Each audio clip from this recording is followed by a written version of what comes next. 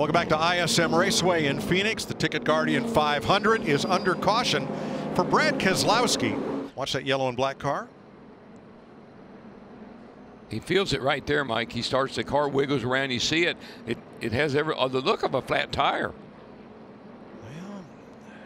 Well, I don't, it's either Oh. a right front suspension issue. Ryan Preece, excellent job of avoiding that. But I think Brad was right. I don't think he ever hit the wall very hard. It surely didn't look like it.